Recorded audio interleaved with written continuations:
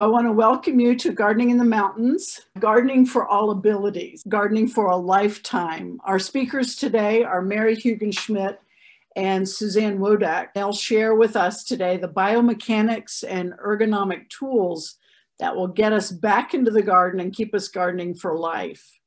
Mary and Suzanne both completed therapeutic horticulture course offered through the Horticulture Therapy Institute and the University of Colorado and have training specifically establishing therapeutic horticultural gardens at the Chicago Botanic Garden.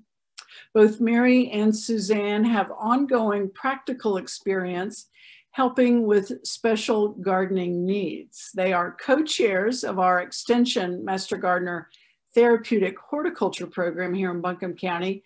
And among their other projects, they work at the VA Community Living Center Healing Garden and the Psychosocial Rehab and Recovery Center. We are glad to have Mary Hugenschmidt and Suzanne Wodak with us today to share that knowledge and experience. Take it away, Mary. Thank you, Allison. Suzanne and I are very glad to have all you folks here with us. We're going to be talking about gardening for all abilities. Gardening for all abilities and all ages has four major components, biomechanics, tools, garden design, and garden structures. Obviously, that's a little much for one hour, so we will be focusing on biomechanics and tools. We're going to start with biomechanics, which is the way you hold your body when you move. It's your posture and your alignment. It's extremely important because it helps to prevent fatigue, pain, muscle strain, sprain and tears, arthritis, restricted movement of muscles and joints, and falls and broken bones. It's a system that begins in the brain, travels the nerves down the bones to joints, muscles, and tendons. So all the parts of things that help us move. Now, research has shown us that physical exercise is very important, particularly as we age, both mentally and physically. It reduces the loss of flexibility and muscle strength. It reduces the risk of dementia. It reduces the risk of depression and anxiety, and it lowers your body mass index. It also increases your muscle tone and strength, your muscle flexibility, and improves your balance. So it is very important. Now the $64,000 question. When you come in from gardening, which part of your body hurts the most? Please put your answer into the chat. Allison, what comments do we have? What are folks saying hurts the most for them? Mary, the majority looks like back and shoulders. We have lower back, general back, knees, hip, elbows, and hands. The back, I think, is winning out here today. Well, they're right. Those comments are right on target with what physical therapists and doctors are finding from us gardeners. The two most sensitive spots are the back and the knees what hurts tells you what you need to focus on in terms of your biomechanics. And with that in mind, let's go and talk about some exercises that can help reduce these problem areas. Now, the first thing is to get the kinks out and to keep them out. And this starts before you start gardening with a stretch. Now follow along with these 10 very short gardening warm-up exercises given by our very own Suzanne Wodak. We're out here in the garden ready to get warmed up, ready to go with our exercises. We're going to start with the neck exercise. Turn your head to the right as far as you can for five seconds.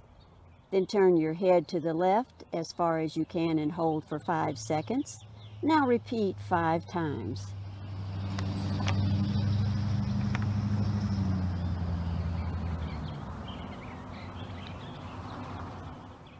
Now for your second neck exercise. Slowly bend your right ear towards your right shoulder and hold for five seconds. Bring your head up straight. Slowly bend your left ear to your left shoulder and hold for five seconds. Repeat three to four times.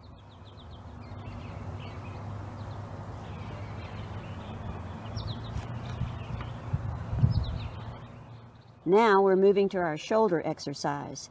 Stand straight, Clasp your hands behind your head and stretch your arms back.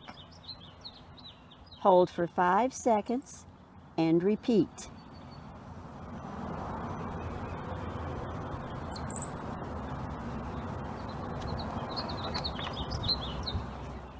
This is your second shoulder exercise. Stand straight. Bring your first arm across your chest. Use your second arm to pull it towards you. Hold the stretch for five seconds and repeat for the other arm.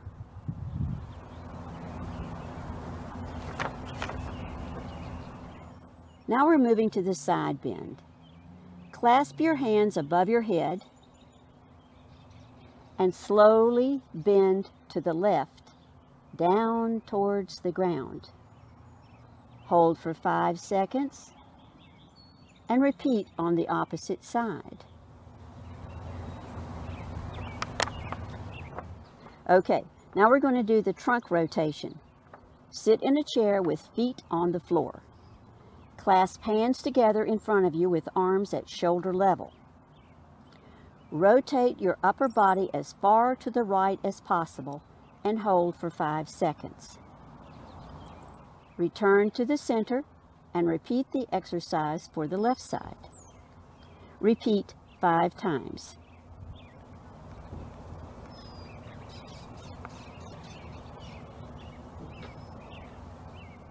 Now for your hand exercises.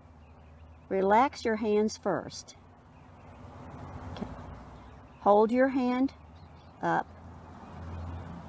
Now smoothly bend the end and middle joints of your fingers down, keeping wrist and knuckles straight. Return to starting position and repeat five times. You'll repeat with the other hand. Wrist exercises. Bend your wrist forward as far as you can and bring your wrist back wait, as far as you can. Move your wrist back and forth five times.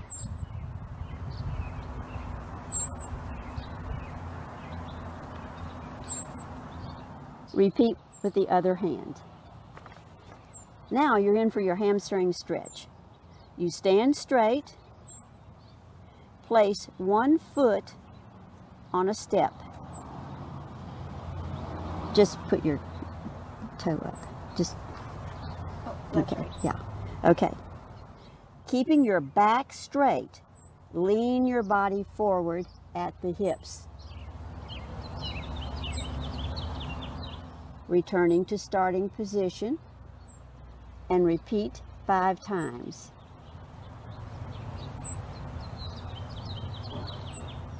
Repeat with the other foot. Stand straight. It's one foot on a step or in front of you, toe up, keeping your back straight. Lean the body forward from the hips.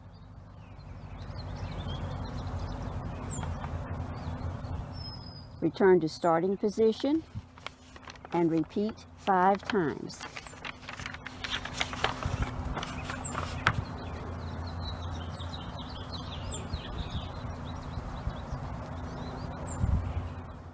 You're ready now for your hip knee stretch. You're going to stand straight, bend one knee holding your ankle or foot, and pull the heel toward your hip until the stretch is felt in the thigh. Hold this for four seconds. Repeat with the other knee.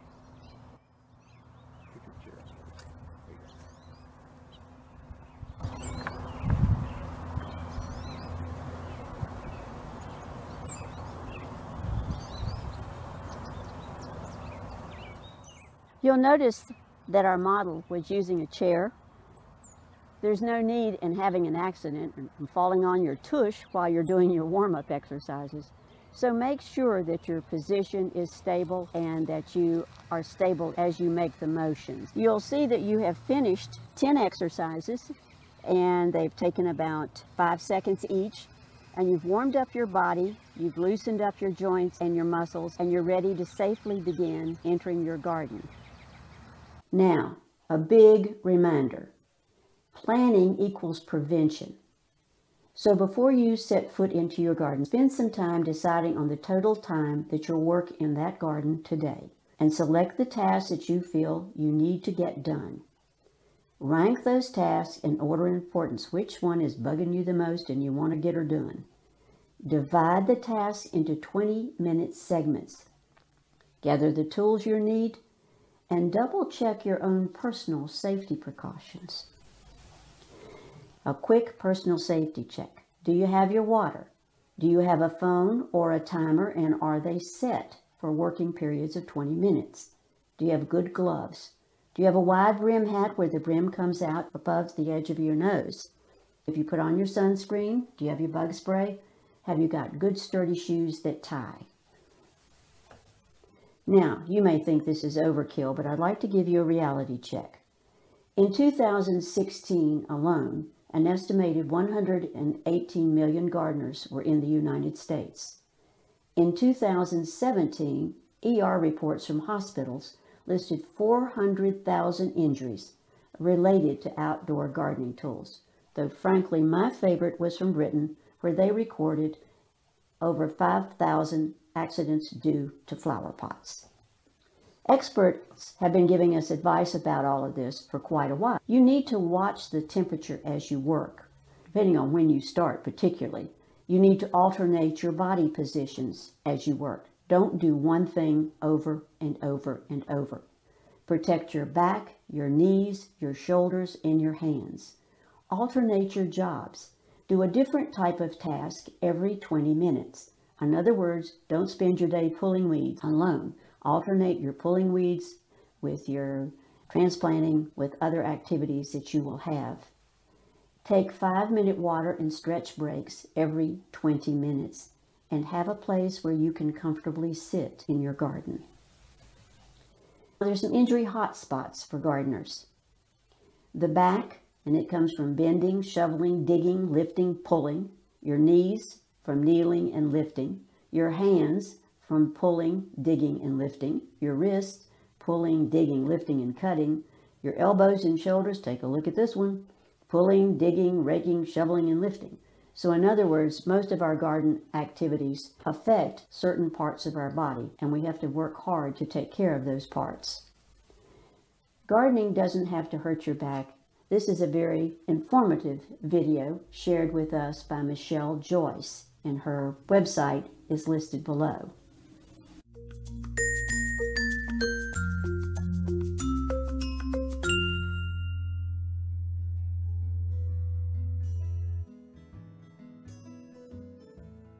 It's really common after a day out gardening that you'll find that you have an aching back. And that's because gardening is full of bending and lifting and twisting, and those are all posture traps, right? So we're going to make sure that we have some good posture while we're gardening, and it's really gonna minimize those aches and pains that you'll feel at the end of the day. So the most common thing that I see is people rounding their backs as they garden. They're just kind of sitting back, and when they want to get closer to whatever they're doing, they round forward like this. And we know that whenever you round your back, whether you're sitting, standing, gardening, or whatever, you're putting a lot of unnecessary wear and tear on your muscles. And so you want to have a nice straight back, a nice neutral spine whenever you can. And so what I'm gonna do, instead of sitting back on my heels, I'm just going to lift up here so I can be on all fours with a nice straight back and do a little bit of gardening from here if I'd like. And that's protecting my spine much more than collapsing forward would. Now, another thing that you can do is you can use a small stool or a bucket as a little seat. So I'm just gonna sit on this. I have my legs nice and wide here so I can really hinge forward. And again, I'm able to just completely relax and get my get to my gardening here without rounding, staying nice and straight. And another thing that you can do if you have a little bit more flexibility in your hamstrings is to do just a standing forward hinge. So all I'm doing is I'm just keeping my knees not all the way locked out, they're a little bit soft, and I can just kind of go from here. I can support my hand and reach out over here, keeping my spine nice and straight as I'm doing that. Another thing to keep in mind is that it's really easy, especially when you're pulling weeds, to think, oh, I'm just going to twist over here and get these ones, or I'll just twist over here and get those ones.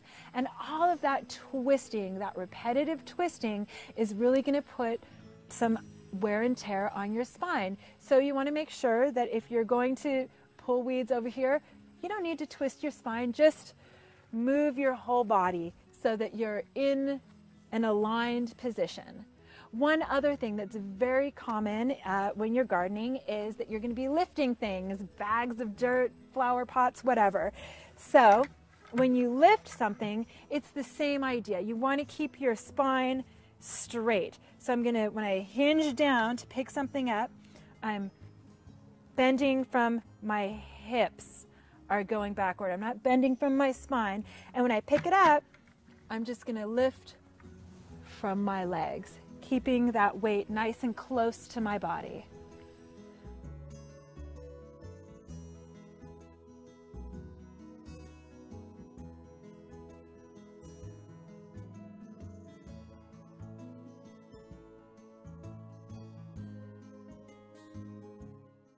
Good biomechanics, which you may remember from your mother, is stand up. You don't want to have a hump back. Your shoulders should be back and down. You should bend at the hips when you're weeding or planting. You should sit rather than bend your back. Square your hips and your shoulders to the shovel when you're digging. Lift with your legs, not your back. And never let your head be lower than your fanny, especially when you're lifting. The next most important thing is selecting and using well-maintained quality tools. Bend the tool, not the wrist. Use tools with angled or bent handles. Select lightweight tools where appropriate. Tool design should reduce excessive gripping or force. Length of the tool handle should be appropriate for your height. Consider lightweight power tools to avoid twisting fingers, hands, and wrists. So what is your favorite, most special go-to tool in your toolkit and why? Please answer in the chat. Allison, what were people's choices as their favorite tools and why? We have some tools being entered in to the chat. Knee pad, hand fork. Several people put in a hori hori knife. Yes, love mine, yep. Long handled weeders, a hoe with tines that are good for pulling weeds, Felco pruners, trowel, pruners, pruners, pruners, pruners, pruners, the hori hori knife, a battery powered weed eater, expandable handle, corona weeder, loppers, pruners, a cushioned seat that can also be used as a kneeling pad, long handled clippers. Well, let's dig a little bit deeper in the tools.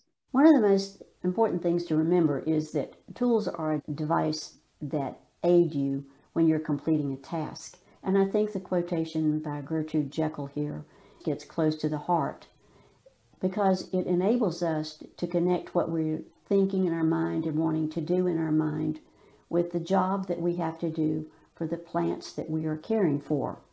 So without it, as Gertrude Jekyll says in her closing sentence, the brain and hand would be helpless without the tool to help us. We have a whole new world of tools out there. And what we're going to look at is ergonomic versus adaptive tools.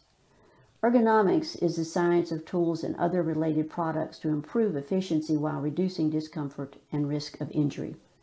So when you look at this tool, these tools are specifically designed with the idea in mind of protecting the worker who's using it, whether it is a tool in industry or a tool in our gardens. Adaptive tools, on the other hand, are tools that have been designed to do a job. We can make our own changes to a tool to fit the needs of ourselves, which means the changes are made to fit the needs of one specific user. Changes can be made both through commercial products and through homemade adaptations. Right now, what we're going to do is explore the wide variety of tools that are available to us and the wide variety of adaptations also available with some honest to goodness real life garden tools out of honest to goodness real life gardeners gardens. We're going to start with an, ergonomic tool and you can recognize it by its signature circular handle. And if you look at the bottom here, you're going to see that it has very nice wide flanges so that when you're edging, which this is an edger, you get a good foundation and you can really drive the point of this tool into the ground. You'll notice that it's light. It's very, very lightweight, very useful.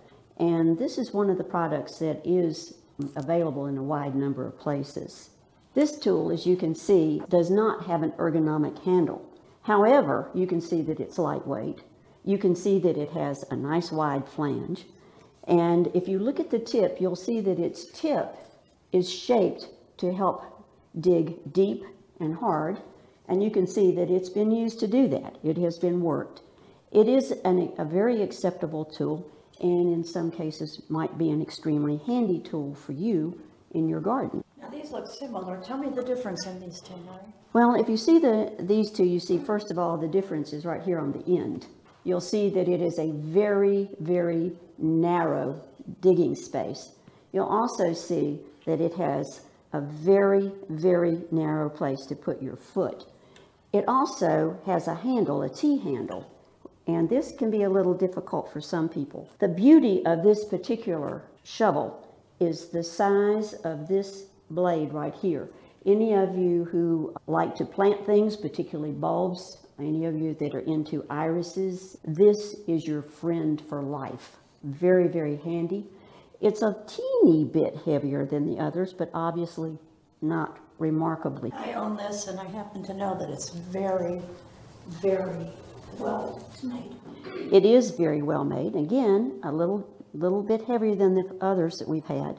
But if you look at it, its shape will help you if you are digging into a space that you want a wide space that you're going to be digging up or digging into or preparing. If you're transplanting like a big flower or a bush of some kind, this is going to be your friend. You'll notice that its flange is smaller and is wide set out toward the end to give a lot of pressure on the outside of the blade so where you need it to go deep into the soil. You'll notice that both of my hands fit here quite easily. Mary, this is one of my favorite shovels, and one Whoa. of the reasons I like this shovel is because it is small. I have some serious back issues, and I'm used to using a big shovel and carrying a He-Man load of soil across the yard or digging a hole that's this big around. This reminds me to take smaller bites of soil. It forces me to take lighter loads, and that is helping my back tremendously. This is a great shovel. I'm glad you brought it in. Thank you. Excellent. Most excellent. Now we've got some things that are going to be uh, helpful in getting the soil ready. Why don't you explain this one to us? This little gizmo has been around a long time and it has a lot of different names. It goes as weed weasel and other things. Any of you who have problems with your shoulders or your arms, using your hoe and you find your back hurts, this guy takes the place of the hoe, particularly if you are the kind of person that digs your weed. Some people scuffle their hoe and there's less pounding and vibrations on the muscles and joints.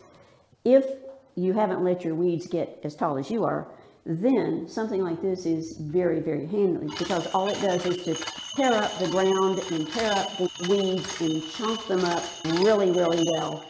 So it's a, a handy thing if you're having problems with implements where you are digging with what's called the chopping motion that's going to send the vibrations up through your joints and your ligaments and your muscles. It's one of the reasons some of them get sore. Not familiar with this one, but boy, that looks very handy. This is a very handy little guy. It runs on a battery. If you look at the bottom, you'll notice it has wheels on it. These wheels can come down here so that when you're using it, you can actually, it's a, it's a weed eater, so that you can actually move it along like this, but you will be holding here.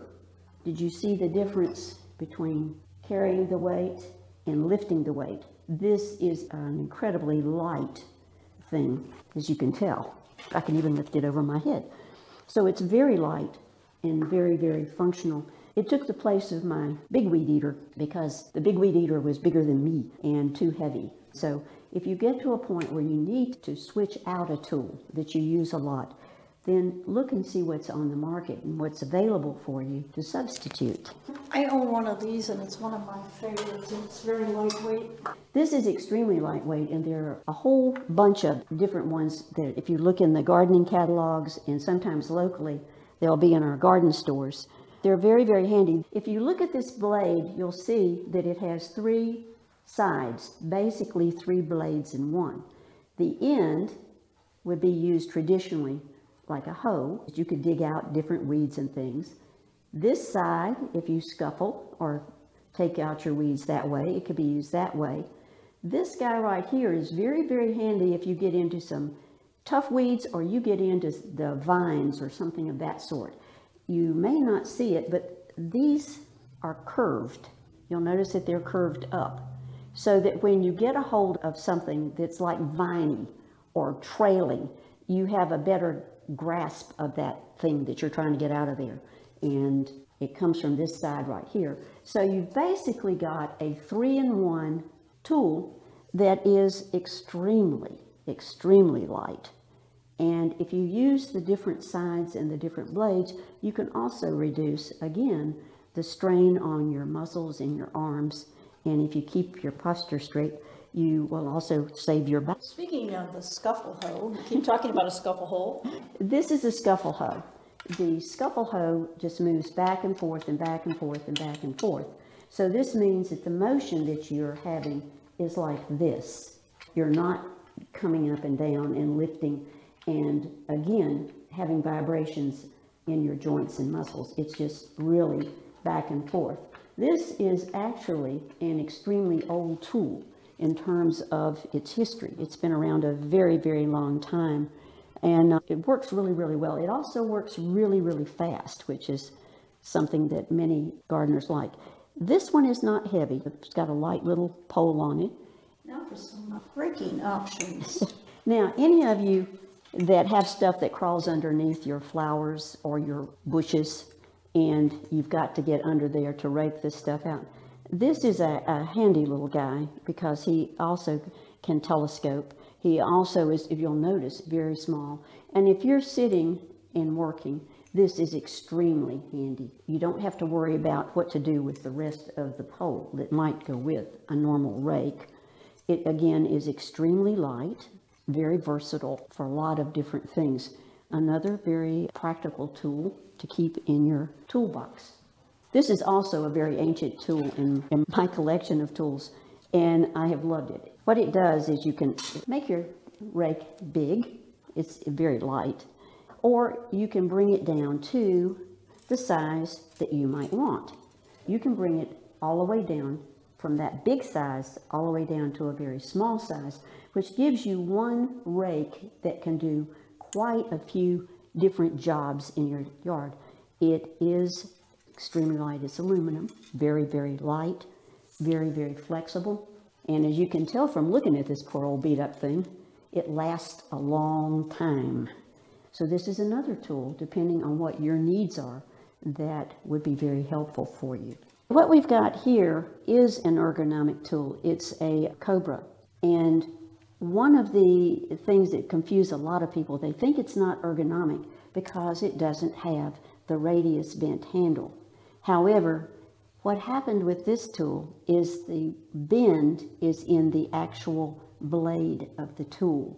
so that when you're holding this, if you can see, you've got a straight line up in your arm for your digging. You're not bending your wrist. And this is something that has been a little confusing for people because they equate ergonomic with the bent handle. Not all ergonomic tools have a bent handle, and the Cobra is probably the most famous of that group. I noticed the orange tape. Oh, well, the orange tape is because my tools and I frequently become separated from each other as I'm working in the garden. And I have spent more time than I wish to make public trying to find tools that I have put down, moved on, and then had trouble finding. This is actually landscaper's marking tape, easily available at Lowe's. And what I do is I put a color that really sticks out. If you'll notice, it has a slight bend. You'll notice it has good grips along the back. This is a Corona tool. You'll notice it's easy to hold and it's extremely sturdy. Now, if I start digging, I've got to be kind of careful because as you can see, if I'm not paying attention to what I'm doing, I can get myself into some trouble pretty quickly. And you can tell the part of my body that's going to be yelling at me when I get finished. So when you get a tool and you put it in your hand, try to run it through. If you're evaluating a tool to buy, run it through. How will you use it? What will your hand, if it's a hand tool, be doing? Because that will help you catch, is this going to work for you or not? It's an excellent tool, absolutely excellent tool, but depending on your own personal anatomy, it might not be the best tool for you, and you have to make that decision. Now, if you notice this one, it does not have an ergonomic shape, and you'd think, well, well, what about that? Well, the what about that is balanced out here. If you will notice the shape here of this part of the tool, it's a soil scoop. And that means basically you're going to be digging and getting it and getting the soil out and doing something with it. And if you notice, if you do the same thing with this, as I was showing you with the other, the Corona, you'll see that it has some actual strengths, even though again, it's not curved. It does have things to help you, and they're right in here, to keep yourself balanced as you're using this tool. It's very lightweight. It's a very lightweight tool and very functional for its purpose, which is as a soil scoop. Speaking of lightweight, that's very lightweight and very inexpensive. I bought those for kids in the garden. We've used this extensively in workshops and things we've done in senior centers, in nursing homes with kids. So this is a wonderful tool and absolutely light. It is industrial strength. Short of running over it with a semi or something, I don't know much that breaks in this particular tool. This one is particularly nice because on the inside it has gradations and it has the inches. So if you're using it as a planting tool, which we often do in our workshops, then you can see quickly where your person is supposed to dig to. It's very, very helpful. It also comes in different sizes. There, are, there is a, a larger size as well. So it comes in different sizes, easily available at Walmart or any Home Depot, Lowe's, all that sort of thing. Excellent. And if you've got grandkids, perfect. Whoa, this is amazing. Tell me about that one. I'm going to ask John to say a few words about this one. This is John's tool. And this is an amazing tool if you are digging holes and I assume planting things, right, John? I'm going to pass to you. Yes, this is just an auger. They call it a soil auger, and it's on a drill. This is a red, but any good drill would work. You use it for drilling holes. I like this one because it's long, and I can get down here and drill two or three or four inches deep with this without having to do a great deal of bending, bending, bending, or getting up and down off the ground. You can walk around and drill a series of holes where you're planting bulbs. This is large enough for a typical bulb. It's also large enough for a typical two-inch transplant. It makes a lot less wear and tear on my back. You can get shorter versions of this which might be a little bit stronger, but if you do, you're going to be down on the ground with it. And I like this one because I can work it from up top without having to bend over. So this is a great tool. The one thing you have to watch out for on these is that if you happen to catch a root under that giant oak tree, it will jerk the handle and it can be kind of hard on your wrist. So the trick is go fairly slowly, go gently down, don't try to rush and go boom, boom, boom, because that's when you're likely to get a root and get a lot of torquing up there. So there is some caution involved here today, I have to warn you on that, but it certainly is a back saver.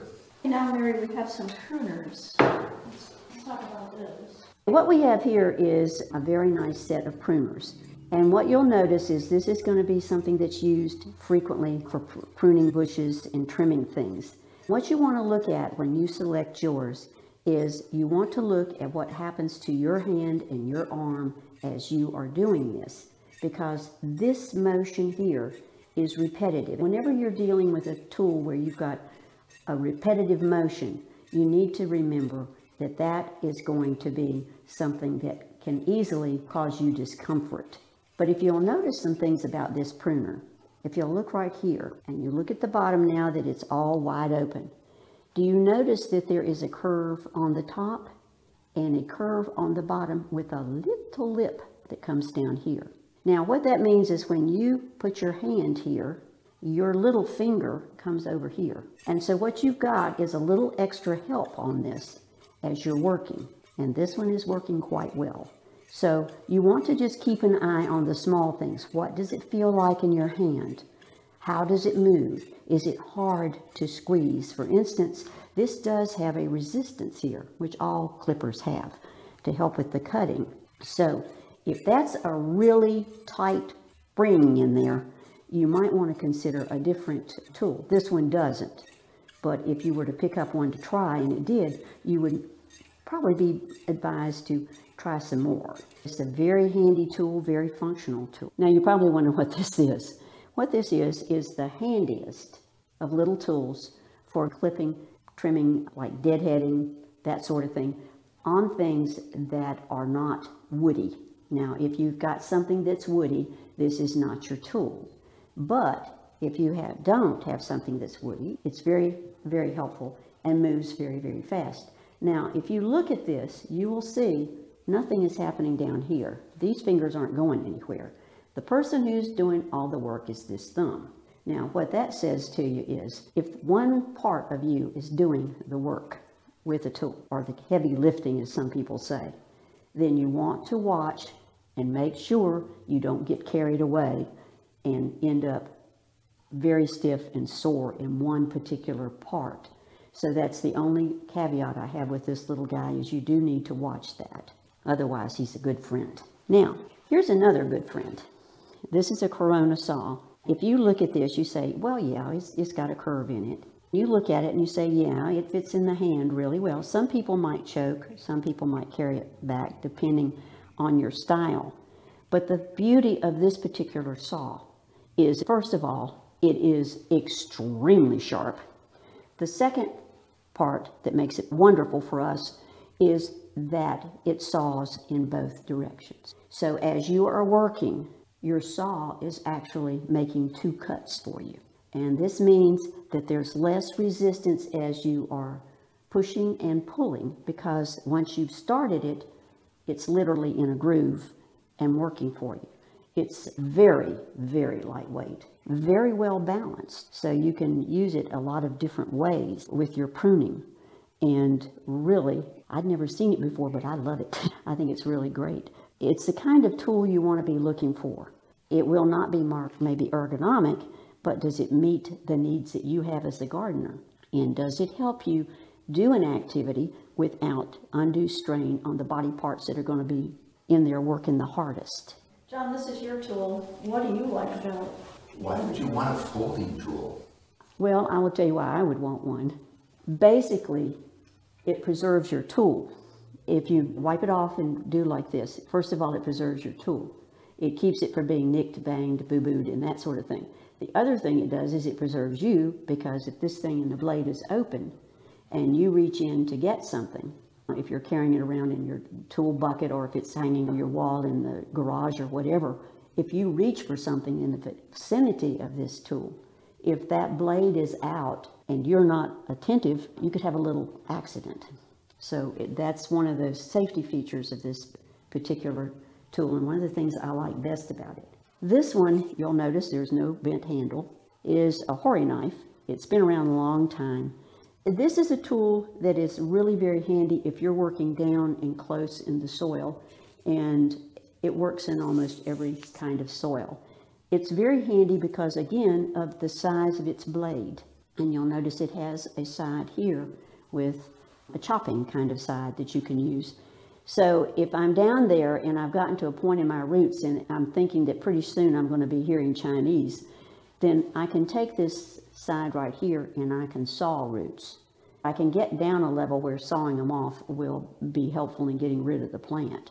So this is a good tool for planting, for doing pots, just all kinds of things that come up. It's just one of those multi-purpose little guys it's handy to have around as an alternative for you when you're particularly planting or you're thinning out. We used it the other day in a plant bed because we had this big clump epimedium that there was no way we were going to be able to pull that apart. I reached for this and we were able to cut that epimedium into smaller pieces and that worked really well. One of the things a lot of people get to the point when they need a little help with their tools in terms of being able to lift a tool or to hold a tool and they think that their special tool that they love and they've had and they want to keep is gone for life and there are moments of great sadness. We've talked about ergonomically designed and built and produced commercially. There are other things you can do with the tools you already have because we live in the mountains, all of you know what this is. This is the stuff that goes around your pipes to keep your pipes from freezing in the wintertime. You can take any garden tool. If your grip is getting to the point that it is slipping on you, or you're tiring, or you're getting a pain in your wrist or hands or shoulders, then you just slip this over, put it down where you would hold that tool. You'll put it down wherever it was that you are holding that tool. And when you get it to the place where you would normally hold the tool, little bit of duct tape around it in three places, and you're good to go. You've got your tool back and working for you again and comfortable. Now, if what you really need is something with the lift, this is particularly true if you develop shoulder problems or upper back problems. There are commercial items on the market, and this is one of them. And all you do with this is you, see if I can get it so you can see, there are two screws in here. And all you do is undo your screws. You then slip this part down your handle, tighten up your screws, and you're ready to go. And you put it where you will be using it to lift when you are working. This works on any tool with a rounded handle, which is most of them. Now, a bigger one, and this is one that comes in two parts. This is longer because sometimes the lift does not need to be to the top of your pool. It needs to be more toward the bottom. If that's the case, then this guy right here comes in. It has two parts. You slip one part on, thusly. You put this part into it. Whoops, excuse me. This part into it. And what you have then is the ability to lift lower down, which reduces the strain, particularly on your back and particularly on your lower back. These are called adaptations, and this means that you've taken a tool that is yours, that you have used and you know, and you've made that tool work better for you. There are quite a few of these on the market right now. Once upon a time, they were only available through medical people who worked with people who'd had different kinds of accidents, but now they're commercially available. I think all of us are, have seen the garden kneelers for years. In this case, it's particularly important for your knees because the first place for most gardeners for accidents, injuries, and problems to develop, believe it or not, according to both physical therapists and doctors, are the knees. So, first of all, this protects your knees if you're down working close to the ground. Secondly, it protects you. If you freeze up or you get too tired, then you've got some way to stand up. If there's nobody around to help you, this is an important thing to know. What you have here are handles on either side that you can use to put yourself up. And this is extremely well balanced. You will not tip yourself over. If you push straight up, there you go. and you're safe. Now, if you flip it, if you flip it, then you are able to sit and work. But when you do that, you have to remember your back and your shoulders and your alignment. So when you're there and working from the seated height, just make sure that you're keeping your shoulders back, your shoulder blades down, your back straight as you are working. You do not want to make the hump. So be careful about that. That is something that can keep you safe and active in the garden, as well as letting you do those chores you want to do, even though your body may be saying, I'm not so sure about this. Looking at what we've done here today with the tools, there are several points I hope you got. One is that a tool does not have to be ergonomic all the time. You can have tools that are not ergonomic that because of the way you use them and the way they're constructed, they're perfectly okay.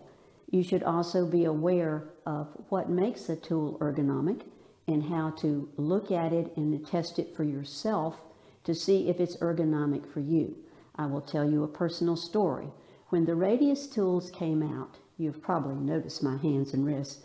I have rheumatoid arthritis, and I thought that those were going to fix everything. And I bought myself a complete set, all four.